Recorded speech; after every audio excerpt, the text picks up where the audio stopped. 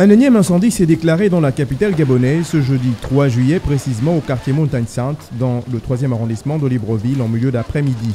Environ 4 studios ont brûlé tour à tour.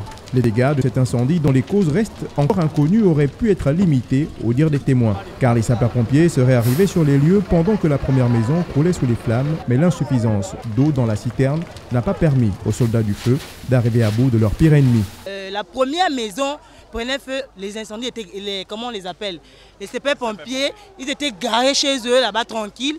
Donc, première maison, deuxième maison, troisième maison prend feu. Lorsqu'ils sont arrivés, les tuyaux, non seulement les tuyaux sont percés, et au moins les cinq minutes, l'eau s'est arrêtée.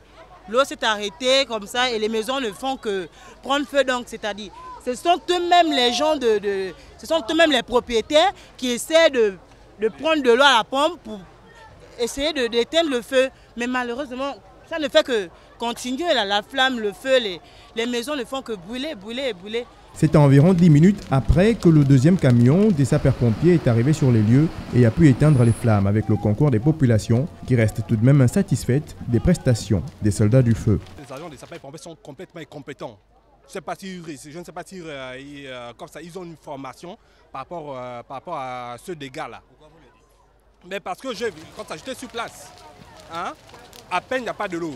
Et comme ça, au moins de 15 minutes, l'agent est incapable de, monter, de brancher des tuyaux. Et les maisons actuellement sont en train de prendre feu, hein, mais je ne sais pas où on va. Il serait grand temps qu'une solution soit trouvée afin de rendre plus mobiles et plus efficaces les pompiers en leur dotant de nouveaux matériels, car la sécurité et même la vie des populations en dépend.